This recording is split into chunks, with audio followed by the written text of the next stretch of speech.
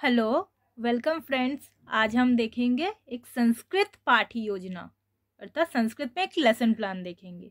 सो so friends अगर आपने अभी तक इस चैनल को सब्सक्राइब नहीं किया है तो जल्द से जल्द सब्सक्राइब कीजिए और साथ ही साथ बेल आइकन पर क्लिक कर दीजिए, ताकि हम जब भी न्यू वीडियो अपलोड करें, आप तक नोटिफिकेशन पहुँच जाए।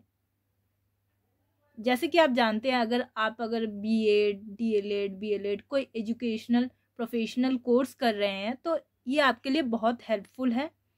और ये जो है, ये संस्कृत में लेसन प्लान है। तो इसी टाइप से Hindi English S S T pattern तो सेम ही रहता है। उसके बाद जो डिस्क्रिप्शन है, जो कंटेंट है, वो बदल जाता है। बाकी सब कुछ सेम ही रहता है। तो ये जो है, ये संस्कृत में है कि अगर आप संस्कृत में लेसन प्लान बना रहे हैं और ये संस्कृत गद्य है। क्लास सिक्स संस्कृत रुचिरा में जो एक चैप्टर है, शब्द परिचय। उस चैप्टर पर बनाया मैंने। सो so, आप इस वीडियो को अपने फ्रेंड्स के साथ शेयर कीजिए ताकि उनको भी बेनिफिट मिले। इस वीडियो को लाइक कीजिए और कोई भी डाउट क्वेरी या कोई और चैप्टर चाहते हैं तो कमेंट सेक्शन में पुट कर दीजिए। तो चलिए देखिए सबसे पहले जो है आप जिस भी स्कूल में पढ़ा रहे हैं वहाँ पे आपके कॉलेज से या यूनिवर्सिटी में से बताया जाएगा कि आपको कितने टोटल लेसन प्लान्स बनाने हैं किस सब्जेक्ट पर कितने बनाने हैं। तो सबसे पहले आप लेसन प्लान नंबर लिखेंगे। सबसे पहले देखिए पाठ योजना नंबर वहाँ पे आप जितने भी नंबर लेसन प्लान प्रेजेंट करने जा रहे हैं, वो नंबर लिखिए। फिर विद्यालय से नाम। जहाँ पर भी आप पीपल टीचर है, उस स्कूल का नाम आप यहाँ पे लिखेंगे। फिर उसके बाद है कक्षा, अनंत, अंतरम, दिवस, विषय। तो ये क्लास सिक्स है, आपने सिक्स लिख लिया। अंतरम मतलब किस पीरियड में आप पढ़ा रहे हैं वो लिखेंगे। दिवस किस दिन पर आप पढ़ा रहे हैं, प्रेजेंट कर रहे हैं वो दिन लिखेंगे और विषय है संस्कृत। वर्ग अर्थात सेक्शन तो यहाँ पे जैसे लिखा है कि अ, ब, स मीन्स ए, बी, सी तीनों सेक्शन। बट आपको जो भी सेक्शन दिया गया है, जिस भी सेक्शन में आप प्रेजेंट कर रहे हैं, आप उसी सेक्शन का वो लिखेंगे। ए भी हो सकता है, B, C, D, E, F कुछ भी हो सकता है। आप वो सेक्शन लिखेंगे। क्योंकि यहाँ पे जो लेसन प्लान अ, ब, स दिया गया है, क्योंकि अभी जो कोरोना पीरियड है, क्योंकि इस टाइम पे एक एक पूरे क्लास देते थे बच्चों को पीपल टीचर्स को या टीचर्स को, क्योंकि जन, यही होता है ऑनलाइन में आप क्या है सेक्शन ए बी सी तीनों को एक साथ आप पढ़ा सकते हो, लेकिन ऑफलाइन में नहीं पढ़ा सकते। इसलिए यहाँ पे अ, ब, स लिखा है। बट आपको सिर्फ़ वही सेक्शन लिखना है, जिस सेक्शन में, जिस पीरियड में, जिस क्लास में आप प्रेजेंट कर रहे हैं। सारे सेक्शंस आपको नहीं लिखने हैं, या फिर हर क्लास में आप पढ़ा रहे हैं, अगर आपको दो सिक्स की क्लास आपने ली है और दो अलग अलग सेक्शन है तो दोनों में आप लेसन प्लान प्रेजेंट करके दो अलग नंबर चेंज नहीं कर सकते। तो उसके बाद है अवधि, कि कितने देर का है वो मतलब वो पीरियड फिर दिनांक, जिस भी डेट को आप पढ़ा रहे हैं, और फिर प्रकरणम। प्रकरणम क्या है? शब्द परिचय। ये वन इसलिए है क्योंकि ये चैप्टर वन लिया है मैंने इसीलिए। और जो चैप्टर वन है, शब्द परिचय, उसको क्या अकारण पुल्लिंग के नाम से भी जानते हैं उस चैप्टर को तो कोई कोई ये भी हो सकता है कि कुछ बच्चे इसको व्याकरण की तरह पढ़ाए या कोई गद्य की तरह पढ़ाए तो इसमें जो है गद्य की तरह अगर आप पढ़ाते हैं तो कैसे पढ़ाएँगे, वो दिया गया है। फिर उसके बाद है छात्राध्यापिकाया नाम या फिर छात्राध्यापिक नाम। मीन्स सॉरी छात्राध्यापक नाम। मीन्स या तो अगर आप फीमेल है तो छात्राध्यापिका है और अगर मेल है तो छात्राध्यापक है। तो यहाँ पे आप अपना नाम लिखेंगे और फिर नीचे आपके कॉलेज या यूनिवर्सिटी में जो भी आपका रोल नंबर है, वो और सेक्शन लिखेंगे। फिर उसके बाद है भाषागत उद्देश्यानी मीन्स भाषा की दृष्टि से कि क्या क्या उद्देश्य है इस चैप्टर को पढ़ाने का। तो उसमें जैसे देखिए, तीन पार्ट्स किया गया है। एक, नूतन पद परिचय अनुस्मरणम और अवबोध। तो नूतन पद परिचय में लगभग सारे ही वर्ड्स होंगे जो नूतन होंगे, क्योंकि बच्चे न्यू न्यू सीख सीख रहे हैं क्लास सिक्स में। तो लगभग सारे वर्ड्स ही न्यू होंगे। तो आप उसमें से कुछ वर्ड्स ले सकते हैं। ज़्यादा नहीं कि आपने पूरा चैप्टर ही उठा लिया, क्योंकि जबकि ऐसा होगा कि लगभग सारे ही वर्ड्स बच्चों के लिए न्यू ही है। फिर अनुस्मरणम, जो उनका अनुस्मरण कर सके वो सारे वर्ड्स और फिर अवबोध वाले। अवबोध कौन से वाले होंगे? सारे ही वर्ड्स अवबोध होंगे। तो इसलिए उपरक्त उपयुक्त पदानम अवबोध। फिर उसके बाद है कौशल उद्देश्य यानी। अब कौशल उद्देश्य यानी में आप लिखेंगे कि किस किस कौशल का विकास होगा? क्या क्या उद्देश्य है हमारे? तो श्रवण कौशल, पठन कौशल, कथन कौशल और फिर लेखन कौशल। ये सारे जो हैं इसके विकास होंगे। फिर विशिष्ट उद्देश्य। कि इस चैप्टर से प्रॉपर मतलब पर्टिकुलर इसी चैप्टर से बच्चों, बच्चे क्या सीख रहे हैं तो आप वो लिखेंगे। तो यहाँ पे जैसे लिखे, लिखा है कि छात्रेभ्य अकारांत पुल्लिंग शब्दानाम विषय विशिष्ट ज्ञान प्रदानम। तो ये विशिष्ट क्या है? अकारांत पुल्लिंग जो शब्द होते हैं, उनके बारे में और डिटेल में पढ़ना। ये हो गया विशिष्ट उद्देश्य। सो फ्रेंड्स अगर आपने अभी तक इस चैनल को सब्सक्राइब नहीं किया है तो सब्सक्राइब कर दीजिए।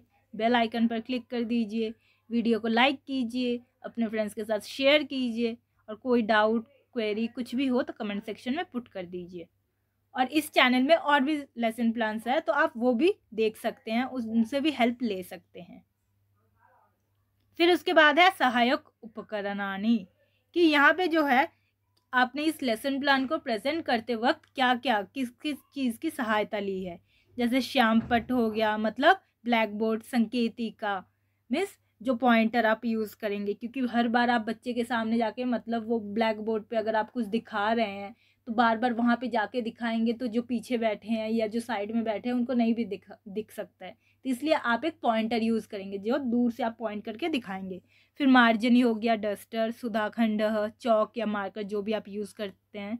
और फिर पाठ संबंध चित्रम मीन्स जो चैप्टर से रिलेटेड कुछ पिक्चर्स आप चाहे तो चार्ट यूज़ कर सकते हैं या कोई वीडियो, पीपीटी आप यूज़ कर सकते हैं। फिर पूर्व ज्ञानम तो छात्रा केचन शब्द विषय पूर्व परिचिता सन्ति। कि छात्र जो है, जो स्टूडेंट्स हैं, वो कुछ शब्दों के बारे में पहले से जानते हैं। या कुछ चीज़ें कुछ विषयों में पहले से जानते हैं। तो सबसे पहले जो है, वो है आपका प्रस्तावना। तो प्रस्तावना, जैसा कि आप जानते हैं कि प्रस्तावना में हम क्या करते हैं कि कुछ क्वेश्चंस या लघु कथा के थ्रू हम उस चैप्टर तक पहुँचने की कोशिश करते हैं। तो वहाँ पे आप तीन या पाँच, तीन से पाँच क्वेश्चन ही ले सकते हैं। ज़्यादा ना लीजिए, क्योंकि पता चला प्रस्तावना में ही आपका समय बर्बाद हो गया। मतलब पूरा समय आपने प्रस्तावना में ही ले लिया। तो यहाँ पे जैसे देखिए कि भारत की जो देवभाषा है, वो क्या है? तो संस्कृत भाषा बचपन से सुनते आ रहे हैं बच्चे, चाहे उन्होंने संस्कृत पढ़ी हो या नहीं, फिर भी ये सुनते आ रहे हैं। संस्कृत भाषा में या संस्कृत में कितने लिंग होते हैं? तीन लिंग होते हैं। ये भी जनरली सबने सुना होगा। चाहे वो पुल्लिंग, स्त्रीलिंग, नपुंसक लिंग, ये सब जानते हैं, नहीं जानते हैं। कुछ भी हो मतलब ये तीन लिंग होते हैं। फिर तीन जो लिंग होते हैं, वो कौन कौन से होते हैं? पुल्लिंग, स्त्रीलिंग, नपुंसक लिंग। चाहे संस्कृत में ना पढ़ा हो हिंदी में वो पढ़ते हैं तो वो उससे जानते हैं या फिर ये पुल्लिंग जो चैप्टर आप पढ़ा रहे हैं, उससे पहले आप किसी एक दो पीरियड ऐसे भी तो लेंगे जिसमें आप बताएँगे कि बेसिक जो चीज़ें हैं, लिंग, पुरुष, वचन ये सारे बताएँगे तो उसमें से कि हाँ बच्चे जानते हैं। फिर जो है कि आप सब अकारांत पुल्लिंग के विषय में क्या क्या जानते हैं? अब ये उनको नहीं पता अकारांत पुल्लिंग, क्योंकि जनरली यही होता है हिंदी या कोई और लैंग्वेज में ऐसे नहीं पढ़ाया जाता। अकारांत पुल्लिंग, आकारांत स्त्रीलिंग, ऐसे नहीं पढ़ाया जाता है। तो इसलिए ये हो गया समस्यात्मक प्रश्न। या फिर इससे पहले भी बच्चे अटक सकते हैं। ज़रूरी नहीं है कि इसी क्वेश्चन में बच्चे अटकेंगे। इससे पहले भी अटक सकते हैं। तब वो, उसको समस्यात्मक प्रश्न वो कर सकते हैं। फिर उसके बाद है उद्देश्य कथनम। जिसमें आपने इंट्रोड्यूस किया कि आज हम इस चैप्टर को पढ़ेंगे, इस विषय में पढ़ेंगे तो आप सब बुक खोल लीजिए। या फिर पहले मुझे सुन लीजिए, मैं क्या डिस्क्राइब कर रही हूँ या कर रहा हूँ। फिर आप बुक खोलकर उसमें देखेंगे। फिर प्रस्तुतिकरणम। ईश कहते के से है क्या है? स्ते हसंदी यहाँ तक। तो आप प्रस्तुत करेंगे और बच्चे सावधान होकर सुनेंगे। आदर्श वाचन जहाँ पे आप आरोह अवरोह से प्रॉपर बिल्कुल कहाँ पे विराम लगाना है, कहाँ पे फुल स्टॉप, कहाँ कॉमा क्या लगाना है, वो सब कुछ आप अच्छे से पढ़ेंगे। और फिर बच्चों को अनुवाचन करने के लिए देंगे कि आपने जैसे भी पढ़ा है तो बच्चों से आप पढ़वाएँगे। और थोड़े ज़्यादा बच्चों से कोशिश कीजिएगा क्योंकि अभी नए नए हैं, बच्चे संस्कृत पढ़ रहे हैं तो उनको अभी आदत नहीं है। तो बच्चे अटकेंगे तो थोड़े ज़्यादा बच्चों से कोशिश कीजिए कि हाँ सबसे थोड़ा थोड़ा पढ़ा ले। फिर उसके बाद है अशुद्धि संशोधन सो फ्रेंड्स जल्द से जल्द इस वीडियो को लाइक कीजिए और इस चैनल को सब्सक्राइब करना ना भूलना। ये जो है हमारे लिए मतलब जो चैनल क्रिएटर है, उसके लिए बहुत मतलब मोटिवेशन की बात है। आप जैसे कि जानते हैं कि स्कूल में अगर आप बच्चों को पढ़ा रहे हैं, कुछ अच्छा लिखने पर स्टार देते हैं वेरी गुड देते हैं तो बच्चे एक्सीलेंट देते हैं तो बच्चा और ज़्यादा इम्प्रूव करने की और अच्छे से परफॉर्म करने की कोशिश करता है। तो हमारे लिए जो है, वो सब्सक्रिप्शन और लाइक्स जो है, वो मोटिवेशन का काम करता है। तो अगर आप खुद चैनल को सब्सक्राइब कर रहे हैं, अपने फ्रेंड्स को भी बोल रहे हैं कि सब्सक्राइब कीजिए। तो इससे और क्या होता है? इसमें व्यूअर्स बढ़ेंगे, और ज़्यादा बच्चे देखेंगे, और ज़्यादा स्टूडेंट्स देखेंगे, और ज़्यादा फ्रेंड्स देखेंगे। तो हमें तब लगता है कि और भी हमें वीडियोस अपलोड करना चाहिए, क्योंकि जो ये मेरे जो वीडियोज़ है, या हमारे जो वीडियोज़ है, वो आपके लिए हेल्पफुल हो रहे हैं। मतलब हम जो काम कर रहे हैं, वो आपके लिए काफ़ी हेल्पफुल है। तो हम कोशिश करेंगे कि और हेल्प करें। तो इसलिए आप मोटिवेशन के लिए आप ये सारे, सब कुछ कर लीजिए। क्योंकि आपको एक्स्ट्रा तो कुछ करना नहीं पड़ेगा, ना आपको एक्स्ट्रा अफर्ट करना दिखाना है, ना आपको कुछ लिखना है, कुछ नहीं। बस चैनल को सब्सक्राइब करना है, अपने फ्रेंड्स के साथ शेयर करना है वीडियो को लाइक करना है। इसमें कितना ही टाइम लगता है। तो ये हमारे लिए मोटिवेशन की बात है। तो हम और भी कोशिश करेंगे और थोड़े जल्दी वीडियोस अपलोड करें, कि या फिर और वीडियोस को हम अगर हमारे पास कोई कंटेंट नहीं है तो हम कहीं से अरेंज करने की कोशिश करेंगे ताकि आप तक पहुंचाएँ। तो ऐसे ही। तो इसलिए आप कोशिश कीजिए कि आप खुद भी सब्सक्राइब कीजिए, अपने घर वालों से सब्सक्राइब करवाइए, क्योंकि ये जो चैनल है या इसके जो कंटेंट है, ये सबके लिए हेल्पफुल है। हाँ शायद आपके क्लास में हेल्प ना करें, लेकिन सीखने में क्या बुराई है? तो इसलिए आप अपने फैमिली वालों को भी कहिए शेयर कीजिए या उनको कहिए सब्सक्राइब कीजिए। ताकि वो भी ये वीडियोस देख कुछ सीखें। तो उसके बाद देखिए, अशुद्धि संशोधनम। तो जब बच्चे अनुवाचन करेंगे तो वो कुछ गलतियाँ भी करेंगे। तो वहाँ पे आप अशुद्धि जो भी उन्होंने किया, वो संशोधन करने की कोशिश करेंगे और उसी में काठिन्य निवारण, जिसमें कुछ शब्द आप ऐसे लेंगे जो थोड़े हार्ड लगे आपको या नए लगे तो उसमें आप ब्लैक बोर्ड की सहायता से या फिर चार्ट बनाकर या कोई पीपीटी बनाकर, पोस्टर बनाकर आप कोशिश करेंगे कि बच्चों से उसका मीनिंग निकलवाए। क्योंकि वो अगर खुद उसका मीनिंग बोलेंगे ना तो वो उनको ज़्यादा अच्छे से, ज़्यादा टाइम तक याद रहेगा। कोई वर्ड है, आपने मीनिंग बता दिया, कुछ बच्चों को याद रहेगा, कुछ भूल जाएँगे। लेकिन बच्चों को अगर आप डेमोन्स्ट्रेशन मेथड से या किसी और मेथड से, प्रत्यक्ष विधि से अगर आप बच्चों से ही मीनिंग निकलवा रहे हैं तो फिर वो उनको याद रह जाएगा।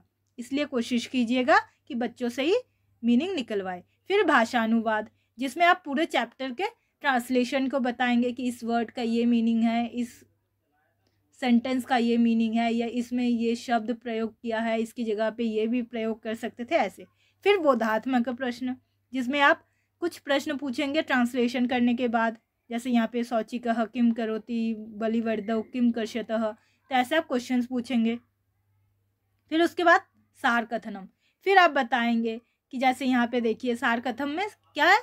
संक्षेपीकरण, जिसमें कि आज हमने ये सह, ए, शह तव इनके बारे में पढ़ा है, इनके ये एग्जाम्पल्स होते हैं, कुछ पास हो चीज़ें तो हम ए, शह बोलते हैं, दूर हो तो सह बोलते हैं, ऐसे सब कुछ। आप उदाहरण देकर समझाएँगे। यहाँ पे आप कोई पेन ले सकते हैं, चौक ले सकते हैं स्टूडेंट्स को खड़ा कर सकते हैं, बोल सकते हैं कि ये अगर मेरे पास खड़ा है तो ए, शह और दूर खड़ा है तो सह, ऐसे। और फिर मौन वाचनम। बच्चों से कहेंगे कि आप खुद अपने अपने बुक्स में पढ़िए, देखिए, अगर कोई डाउट हो तो पूछिए तो उनको थोड़ा टाइम देंगे। फिर अनुशासन के लिए आप क्लास में ही इधर उधर थोड़ा टहलेंगे मतलब देखेंगे कि हाँ बच्चे पढ़ रहे हैं कि नहीं। क्योंकि अगर आप आप बच्चों को साइलेंट रीडिंग करने के लिए देंगे और अपना काम करने लग जाएँगे तो बच्चे बात करने में या खेलने में लग जाएँगे। तो इसलिए आप पूरे क्लास में एक बार घूम के देखेंगे कि हाँ बच्चे पढ़ रहे हैं कि नहीं। फिर है पुनरावृत्त्यात्मक प्रश्न, जिसमें आप फिर से दोबारा से कुछ क्वेश्चंस पूछेंगे। जैसे यहाँ पे देखिए, चित्र दिखाकर। मैंने कुछ चित्र लिए थे चार्ट पेपर में या फिर वैसे ही अलग अलग पेपर्स में। आप चित्र, और चित्र का जो साइज़ है ना, वो इतना रखना कि हाँ लास्ट बेंच पे जो बच्चा बैठा है, वो भी देख पाए, वो भी अच्छे से समझ पाए।